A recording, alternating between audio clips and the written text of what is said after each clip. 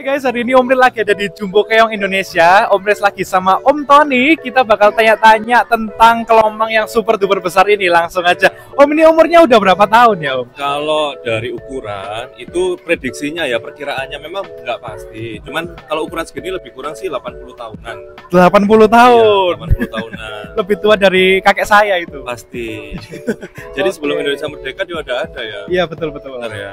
Ah, pas momennya mau 17-an. ya. Betul Om. Oke untuk jenisnya ini yang bisa ukuran dan umurnya paling panjang itu jenis apa Om? Kalau untuk ukuran eh, bisa umurnya lebih panjang, ini Brevimanus namanya. Oh, Atau Brevimanus. orang luar malah nyebutnya Indo Scrap. Oke. Indonesian Scrap. Indo Indo, Scrap. iya. Oh. Dan ini eh, dia ini nomor dua terbesar setelah kepiting kelapa. Oh nomor Nomor dua. nomor dua Oh, kepiting kelapa yang paling besar kelapa. emang Iya, ya benar. Oke. Jadi dia yang paling besar dan kebanggaan Indonesia juga ya. Iya iya iya. Oke. Oh asli Indonesia dari Asli daerah Indonesia. mana ya Om? Kalau dari daerah mana seharusnya dari Sabang sampai Merauke. Oh, dia tersebar. menyebar, eh, tersebar di seluruh kepulauan Indonesia Oh iya. sama eh, negara-negara sekitar Indonesia, Asia Oke Tenggara. oke oke oke. Untuk pakan apa ya Om supaya bisa panjang umur, supaya bisa besar? Soalnya kan kebanyakan yang pelihara kelomang itu masih kecil aja udah mati gitu loh Om. Nah, nah, Untuk perawatan juga. Oke, nah perawatannya itu sebetulnya dia tuh simple karena kita mesti tahu ya eh, habitat alamnya dia di mana sebelum kita tahu jenis makanannya apa. Oh iya. Nah, kalau misalnya kita sudah tahu di habitatnya di mana, otomatis kan kita nggak melulu kasih timun, ya kan? Masyarakat kita kan taunya dikasih timun lah, Iya timun. gambas sampai ada yang pernah bilang kalau dikasih rumput gimana? Dia kan bukan kambing. Iya kan? betul betul. Jadi dia ini omnivora, pemakan segala. Jadi kalau misalnya dia di pantai, otomatis kan seharusnya dia makan apa? Udang, Oh, ikan, betul. siput. Kadang-kadang siput laut itu dimakan sama dia, rumahnya dipakai. Iya ini rumah siput laut. ya, Iya, emang. ini kan rumah siput laut. Hmm. Jadi seharusnya kasihnya macam-macam, cuman utamakan dia kayak hewaninya lah. Misalnya dikasih daging rebus lah atau kepala udang kita kukus Oke. dulu. Ya, Ya oke. semacam itulah. Kalau Ya. mau sayur boleh, tapi yang nggak semua sayur dia suka. Oh. Ya, terus habis itu wortel, jagung manis, biji-bijian. Iya iya. Ya, kayak Oke. gitu. Oh berarti untuk protein hewaninya kasih udang ya Om bagus ya? Bisa, bisa. Oke oke Kalau oke. kalau bisa direbus dulu atau dikukus dulu supaya nggak mendatangkan lalat. Oh iya betul betul. Biar nggak bau juga ya Om. Iya. Oke, nah kalau jenisnya Om, yang paling aman untuk beginner kalau orang mau pelihara, Heeh. dimulai dari jenis yang mana Om? Nah, Masalah jenis itu tergantung selera sebetulnya. Tapi kalau mau yang lebih kuat tahan lama ya jenis Brevimanus. Oh Brevimanus ya Om. Brevimanus. Tapi pada umumnya kan kita pelihara yang jenis Rugosus kan. Oh, Rugosus oke. itu yang kayak begini. Yang biasa di depan sekolah-sekolah Iya, SD tuh loh. Iya, yang warnanya- Ini justru sulit ya Om peliharanya. enggak, dia paling, Oh, enggak. paling paling simple, paling Oh, gampang. iya iya Kayak iya gitu. iya. iya. Jenis-jenis Rugosus itu paling simple. Oh ini nih, mulai keluar nih. Enggak keluar ya. Nah, ini keluar nih, lo itu. lucu banget, guys. Nah, Ini juga cocok buat beginner. ya, Oh, iya, Rugosus. Kita kita kembalikan dulu aja Iya. Om. Oke oke oke. Oke, Oke ya, deh Om kalau kayak gitu. Terima kasih ya Om. Sama-sama. Oke, terima kasih buat waktunya dan Iya. kita mau lanjut lihat-lihat yang dijual sama Om Tony di sini guys. Ya. Oke. Nah, selain kelomang, ternyata di sini juga ada ikan-ikanan, guys. Nih, coba kalian lihat, guys. Ikan satu ini adalah glass catfish, guys. Keren banget ya. Glass cat ini adalah salah satu ikan lele yang badannya seperti kaca. Sesuai dengan namanya ya, glass itu artinya adalah kaca, guys. Jadi kita bisa kelihatan bagian dalam dari tubuh lele ini. Kelihatan ya, guys. Itu ada duri-durinya, ada struktur tulangnya di sebelah sana. Keren banget ya, guys. Ini pertama kali Om Ril lihat ada ikan lele sekeren ini, guys. Dan Om Ril juga kaget banget guys. Harganya ternyata Om kira bakal mahal ya. Ternyata under 50 ribu Gak sampai 50 ribu guys. Kisaran 30 ribuan doang. Mantap banget ya guys. Cukup murah untuk ikan sekeren ini guys. Nah di sebelahnya tadi ada akuarium yang cukup besar di sini. Tuh Om lihat ada di sebelah bawah situ guys. Coba kalian lihat. Waduh ada ikan fire eel ini guys. Eh bukan ikan ya. Ini maksudnya belut ya guys. Fire eel ini ada. Eh ya ampun ada catfish yang nyembel Eh lo kecepit kecepit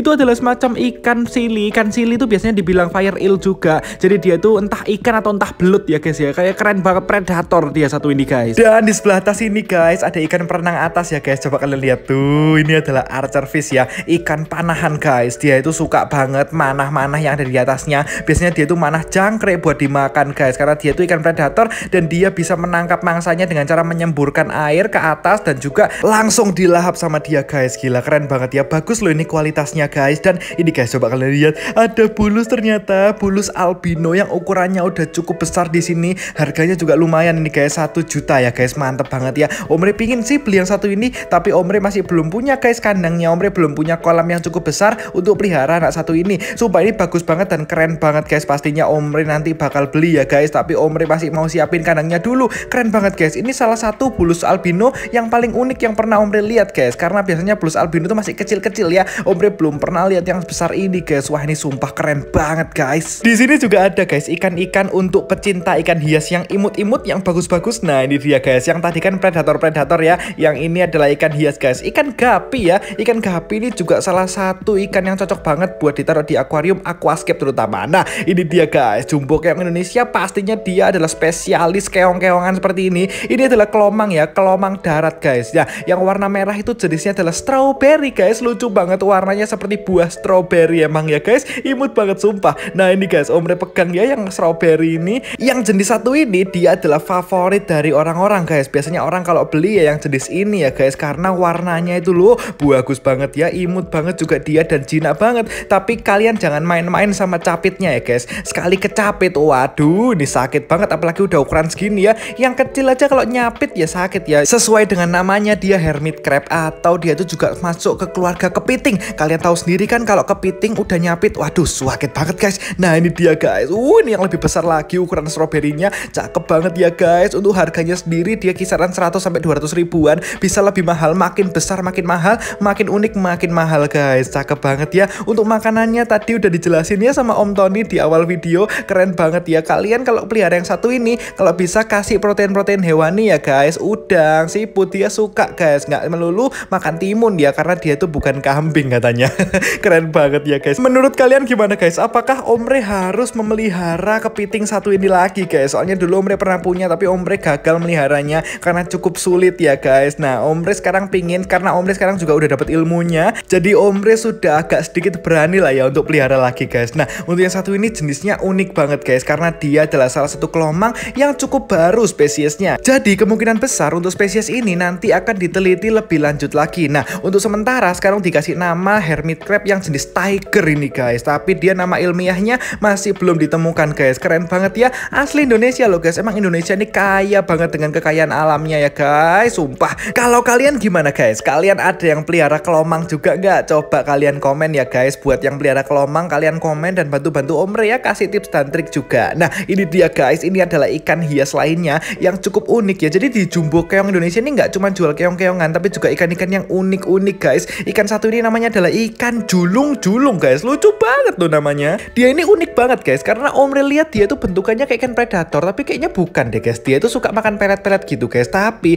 ikan satu ini mirip banget sama ikan alligator gar nggak sih guys? Cuman versi mininya gitu loh ya ampun imut banget ya sumpah guys ini kecil banget. Nah yang ini guys adalah ikan kayak semacam ikan air laut kalau Omre lihat ya tapi bukan. Ini adalah ikan air tawar, ikan sejenis gobi gitu loh guys ya. Karena dia tuh suka kayak diem di dasar, suka nempel-nempel, suka ngeliatin orang kayak gitu guys. Nah tuh ini yang satu ini nempel di filter-filternya ini lucu banget guys. Dia berenangnya nggak kayak ikan pada umumnya, sukanya nempel dan berjalan. Nah yang satu ini guys, coba kalian lihat tuh. Ternyata di sini juga ada ikan puffer ya guys. Ikan puffer satu ini adalah kerabat dekat dari nyonya puff guys. Tapi dia tuh uniknya bukan dari laut, dia adalah ikan air tawar. Jadi dia tuh ikan puffer atau ikan buntal asli air tawar. Enak banget nih perawatannya, nggak ribet kalau air tawar kayak gini. Karena biasanya ikan buntal seperti ini dia perawatannya butuh air payau, air laut gitu agak ribet. Kalau full air tawar gini, wah Omre senang banget. Apakah Omre harus memelihara ikan imut satu ini?